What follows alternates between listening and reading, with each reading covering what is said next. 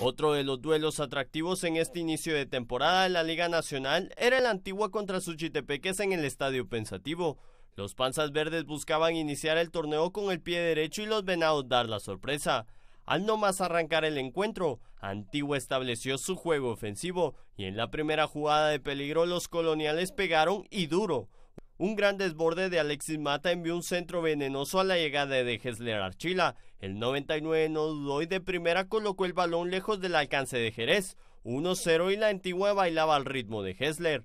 Lejos de defenderse, los antigüeños buscaron ampliar el marcador, con llegadas de Oscar Isauli y Roberto Carlo Peña, pero los remates se iban desviados o bien atajados por el guardameta Venado. Suchi reaccionó y buscó el empate, con disparos de media distancia y un buen debut del colombiano John Córdoba, llevaron peligro a la portería de Víctor Ayala. El juego cayó de ritmo y entró en un letargo. En el segundo tiempo, Suchitepeques buscó el empate a través de Córdoba, pero el juego fue interrumpido por muchas faltas. En total se sacaron ocho tarjetas amarillas y el gol de Archila sirvió para que Antigua debutara con victoria en el Apertura 2015.